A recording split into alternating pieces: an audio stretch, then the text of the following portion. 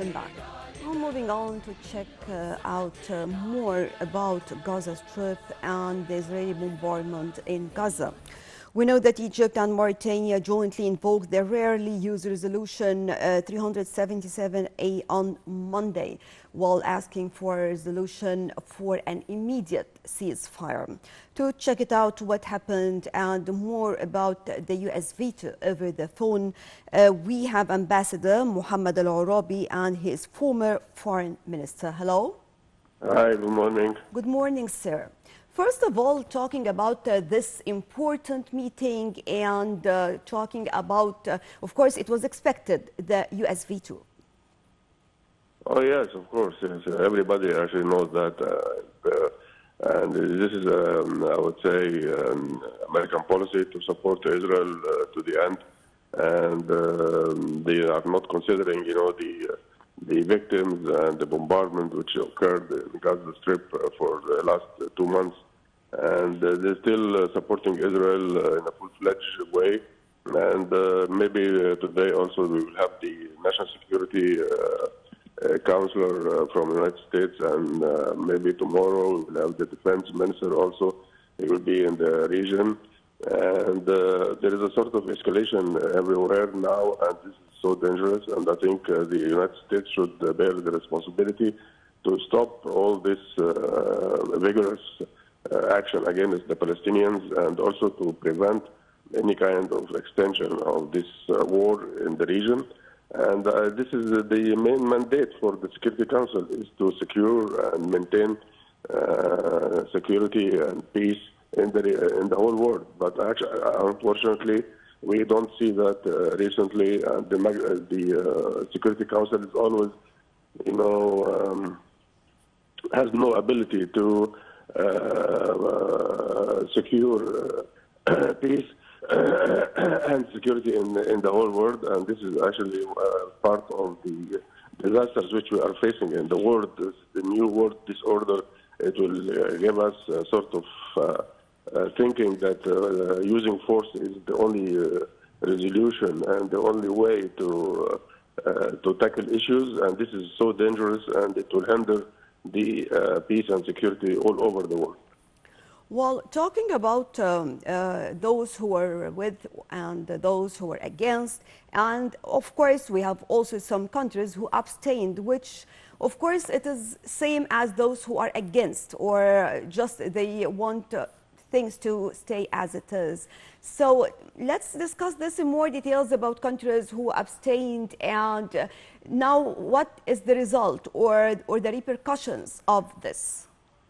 Well, the abstention is always, you know, a sort of uh, expressing your views towards uh, an issue and that you don't want it to involve uh, in any uh, decision on this on that issue. Because if we are talking about the humanitarian issues, and I think this will uh, bear a lot of responsibility for whom uh, veto or let us say say no uh, in uh, that resolution. I think the whole international community will look at them as part of this massacre which is occurring in Palestine. So the abstention countries, I think, uh, or the uh, the abstention attitude, I think it is a sort of expressing that okay, we will not involve in that issue, and we, we want to keep us uh, a part of this uh, condemnation if you will say uh, no. And but anyway, it is not yes, and it means that those people they are not trying to support any kind of ceasefire, humanitarian ceasefire, or even full-fledged ceasefire. And uh, this is also a very bad thing. It is not a positive attitude from them.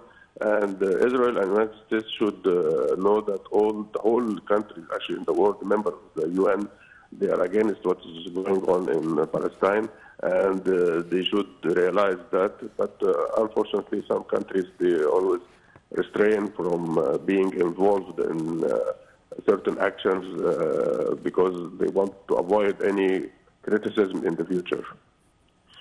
But the fact of being or acting as blind, seeing all these um, cases or all these people dying every minute, again, not every day, and children, and still we have a U.S. veto, how can it be um, read or uh, how can it be uh, taken by the whole world? I'm talking about citizens and nations. Well, I think uh, we should, you know, uh, work on the parameters which is always saying that the U.S. Uh, will support Israel and support the security of Israel. They consider the 7th of October as a major threat to the security of Israel, and that's why they dispatch these uh, carriers and uh, destroyers in the Mediterranean. And of course, they have uh, a lot of uh, ammunition uh, to Israel and maybe even some modern weapons to be used. So uh, this is actually the main uh, issue in the United States that okay, we have to support Israel to the to the end, and we are not accepting any uh, threats to the Israel security. This is actually the base of the position of the United States. But of course, they are now starting to move to another, I would say, uh, opinion uh, after they saw all this uh, destruction and killings. And I think uh, in the near future, we will see maybe some uh, different attitude from the United States. And I think we are on the verge to have a complete ceasefire under any name, maybe a humanitarian ceasefire or even uh, a full-fledged uh, um, ceasefire.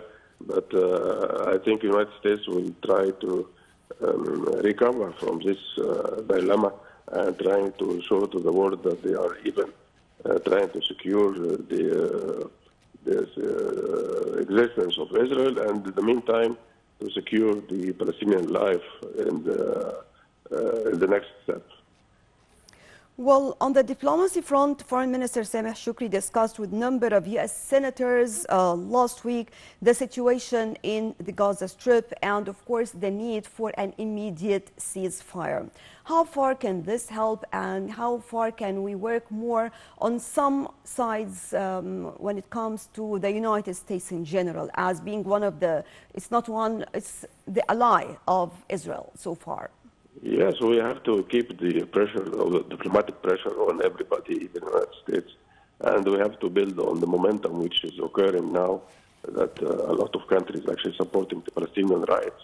So diplomacy uh, should uh, play a role now, mm-hmm. and this is going to be a pivotal role in the future because you know we have to uh, convince the United States that uh, the Palestinian state is the real, uh, I would say, key for security in our region and uh, that's why we have to hammer on that uh, notion every now and then with the uh, decision leaders in the United States. And I think that Egyptian diplomacy was so uh, active in that.